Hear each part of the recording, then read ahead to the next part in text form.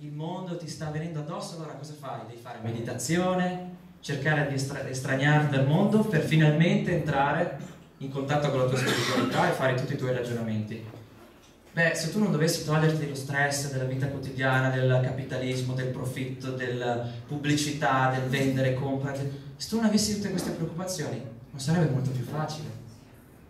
E allora, quello che noi pensiamo adesso è che sia più importante educare le persone su quello che si può fare e su come si possono mettere le basi. Il Venus Project non è la fine, è l'inizio del percorso. Per, qua, per come la vediamo noi, la società in cui viviamo non è civile. Una società sarà civile quando tutti quanti avranno accesso alle risorse, quando le produzioni saranno automatizzate, quando uno può avere l'orto per passione, non perché se non lo fa muore di fame, quando uno può fare l'artigiano perché gli piace fare quello, che fa la sua scultura, che poi quando la fa, siccome non la deve vendere per vivere, magari la regala a qualcuno.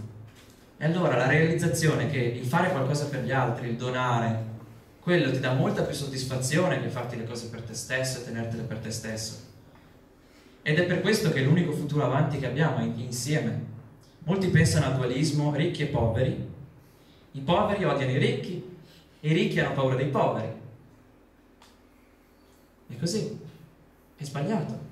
Noi abbiamo bisogno anche dei ricchi e far capire loro che l'unico modo che hanno per essere felici è donare qualcosa, aiutare gli altri. E non per qualche motivo pseudo-mistico, è così scientificamente. Hanno fatto fMRI scanning a vedere le reazioni eh, dal punto di vista anche neurochimico di come funziona il cervello quando tu fai qualcosa per te stesso e per il tuo rendiconto personale immediato o quando lo fai qualcosa esteso agli altri. La soddisfazione che ricevi quando fai qualcosa per gli altri è molto, molto più grande. E quindi è questo che dobbiamo far capire. Se voi guardate i ricchi, sono la categoria sociale che hanno la percentuale più alta di suicidi, che sono in, sotto psicofarmaci, maniaco-depressivi. Perché? Perché sono istruiti, educati fin da quando sono bambini a fare una cosa, a pensare che il valore più importante è fare soldi e che l'acquisizione di beni materiali porterà loro la felicità. Poi quando arrivano a 30, 40, 55, 60, 70 anni si accorgono che la loro vita è stata inutile e che l'unica cosa che sanno fare li porta ad essere ancora più infelici. E allora perché non spezzare questa cosa subito e far capire anche a loro che possono essere più felici se condividono le cose e se lavorano per, per cooperare con gli altri? Allora questa secondo me è anche spiritualità. Esatto. E in, noi la, la racchiudiamo con queste due parole, terapia sociale. L'educazione vera è anche educazione alla spiritualità, l'educazione al rapporto con le altre persone, l'educazione al rapporto con la natura, con le altre specie che noi maltrattiamo e utilizziamo come se fossero peggio degli oggetti. Questa è anche spiritualità. Grazie.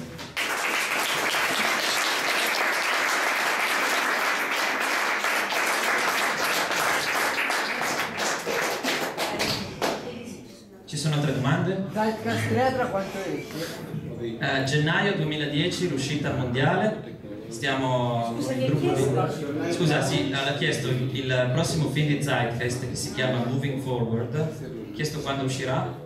Gennaio 2010, a metà di gennaio, è prevista l'uscita. 2011? È prevista l'uscita mondiale. Eh, sarà in 20 lingue, in più di 60 paesi, cercheremo di farlo uscire anche in alcuni cinema selezionati, eh, organizzato dai gruppi cittadini del movimento Zeitgeist. E, tra l'altro qui c'è un po' di materiale che distribuiamo gratuitamente, approfitto. e ci sono dei DVD del Zeitgeist Addendum e della presentazione multimediale di orientamento. E, e qui ci sono un po', un po', di copie di guida dell'attivista che diciamo sono mie personali, però se qualcuno è molto interessato gliele posso regalare, comunque le mettiamo anche sul sito, ci potete scaricarvi il pdf, stamparvelo, leggervelo così, oppure potete ordinare il libro e noi non ci guadagniamo niente, il costo della stampa pura lo facciamo tramite un servizio esterno, non guadagniamo neanche un centesimo. Il costo della stampa è quello che pagate voi e vi arriva a casa. Io voglio fare una domanda sola. Sì. A Daniele. Ciao Daniele, mi interessa molto la tua esperienza, questa doppia faccia, tra virgolette. Cioè tu lavori in una multinazionale, una delle più importanti del settore, mi sembra di capire, no? Quindi non piccola, una multinazionale comunque, e fai parte del movimento Zeitgeist. E quindi sicuramente cercherai di portare anche questo spirito del, nuove, del nuovo tempo anche all'interno della tua azienda e quindi oltre all'educazione, diciamo quella che diceva Federico, della base sociale, è molto importante anche l'educazione di altri scienziati, per esempio. No? Ti volevo chiedere che, come sta andando, se ci puoi dire due cose. Anche come vivi te. Infatti l'esperienza che ho io, l'esperienza che ho io a livello lavorativo è proprio quella che mi ha spinto a unirmi al movimento Zcast perché dove, la posizione che, che, ho io è una posizione quasi favorita dove posso osservare gli effetti deleteri che il sistema, il profitto, la competizione che le corporation eh, devono costantemente rinforzare ha sulle persone.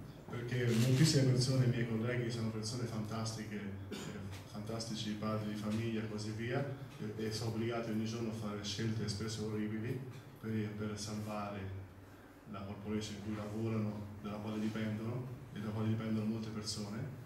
E da, da, dal mio lavoro posso vedere come il problema non è la cattiveria delle persone, ma è il design globale del sistema del profitto che genera le condizioni per cui solo compagnie che sono fortemente, fortemente competitive e senza scrupoli sopravvivono e dominano e impongono le regole del gioco perché il design del sistema competitivo è che chi vince impone le regole del gioco e chi vince è sempre colui che ha minori freni inibitori.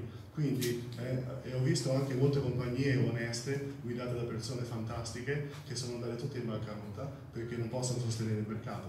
Quindi eh, noi abbiamo una sensazione sbagliata che le persone sono cattive ed egoiste, ma la verità è che il sistema nel suo design seleziona solo persone egoiste senza freni inibitori e le porta eh, in alto al ruolo del vincitore e noi sembra che vediamo solo chi vince e non vediamo che il 90% delle persone che perde invece erano le persone che volevano fare qualcosa di buono per gli altri. Quindi noi vediamo solo il 5% che vince, che non c'è nessun freno inibitore e pensiamo che tutto il mondo è così. Invece non è così. E io sono un testimone dall'interno. Io lavoro in queste corporation, sono in competizione costante con altri ricercatori, costantemente condivido mie, quello che conosco e la cosa bella è che vedo come ciò che voi avete dentro si riflette nella realtà, perché quando io voglio condividere eh, in stile Venus Project la mia conoscenza con gli altri, spesso gli altri si rifiutano di ricevere quello che io conosco, perché hanno paura che questa è una trappola del mio sistema competitivo per farli fuori.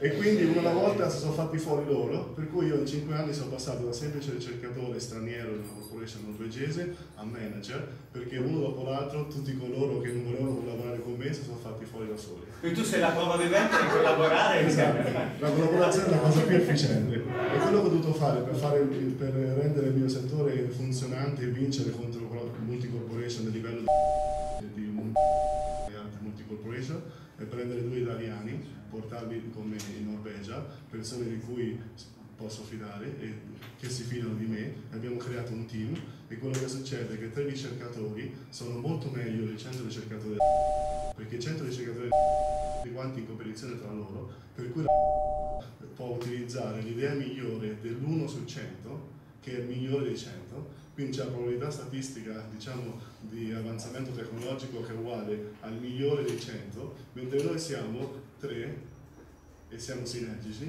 quindi tre normali vincono tranquillamente contro 100 in competizione, perché noi collaboriamo e condividiamo le conoscenze. Questo è quello che possiamo fare a tutti i livelli.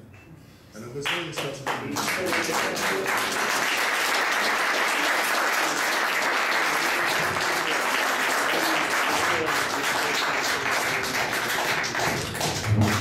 sì, un'altra domanda? La domanda è, è quasi di, di tipo... Cos'è la, restrizione? Cioè, no, mi chiedevo se questo tipo di intervento, se nei vostri eh, piani di azione eh, avete previsto questo tipo di intervento, per esempio nelle scuole, cioè questi ambiti di deformazione mentale delle diverse generazioni.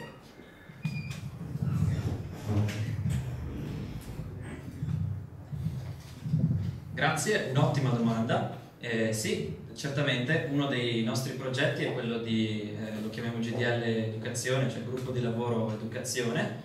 E, mh, l'idea è quella di eh, preparare dei, diciamo, delle piccole guide sia per gli insegnanti che anche per gli studenti.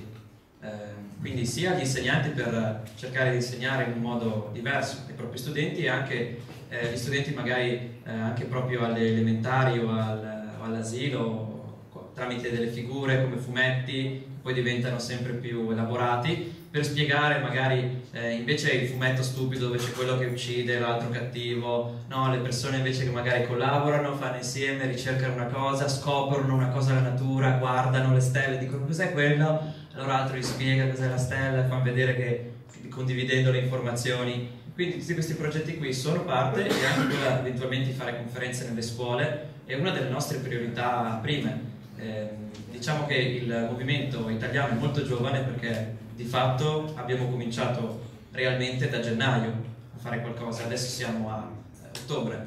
E mm, in questo breve periodo di tempo siamo secondo me cresciuti ad un ritmo pazzesco, quindi eh, è anche esatto, esponenziale, quindi ehm, quello che dobbiamo fare è adesso eh, capire quali sono solide le basi da cui partire, creare dei gruppi di lavoro che possono operare nei vari settori, c'è il gruppo di lavoro grafica e video che fa eh, i pamphlet, fa i video, fa le grafiche, fa eh, gli sticker, eh, dei pdf illustrativi, delle infografiche, così. Poi c'è il, il, gruppo di lavoro delle traduzioni, che traduciamo il materiale dall'inglese e lo facciamo in italiano. Poi c'è anche il gruppo di lavoro, diciamo, formazione, Stiamo, abbiamo un progetto interessante che si chiama La mia vita nel Venus Project. Abbiamo scritto due episodi, adesso stiamo per scrivere il terzo. E, e anche in progetto quello di fare uscire un bimensile con delle storie nostre, degli articoli sulla scienza, gli articoli su come ragionare, come parlare con i propri figli, come parlare con i genitori, parte dei figli. E in questi episodi della mia vita nel Venus Project raccontiamo di un possibile futuro e mi immagino, eh, immaginiamo che sono a 5 anni dentro la transizione verso questo mondo che non è perfetto, però è meglio, ok? E com'è che vivo? Cos'è che faccio? Perché molti se lo chiedono, io a volte chiedo alla gente, immaginati di non dover lavorare per vivere. Immagina che non devi fare quello, que- questi qua già mi guardano, eh. cosa dici? Dice, no, ma immagina, immagina, non devi lavorare per vivere. Ah, come? No, non ti preoccupare, tu le cose ce le hai, ti serve pomodoro, ce l'hai, oh, serve la pasta, ce l'hai. Oh, cosa fa? Questi qua, ah, non ci, non ci ho mai pensato. cioè, eh, scusa, ne hai una di vita, o no? Quando è che ci pensi nella prossima? Allora, eh, noi proviamo a fare questo. Proviamo a dare un'esperienza di vita possibile, una delle tante, di come potrebbe vivere un padre di famiglia, come potrebbe vivere un teenager, come potrebbe vivere un, un ricercatore oppure un artista o le varie persone nel Venus Project, cosa, cosa potrebbero fare nella vita di tutti i giorni.